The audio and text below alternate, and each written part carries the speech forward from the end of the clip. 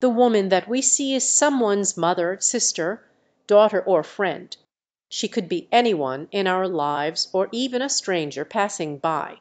The woman represents the diversity and beauty of women in our world. She is strong, caring, and capable of achieving great things. She plays various rôles in society and contributes to the well being and progress of her community. We should respect and value the women we see because they deserve equal opportunities and rights just like anyone else.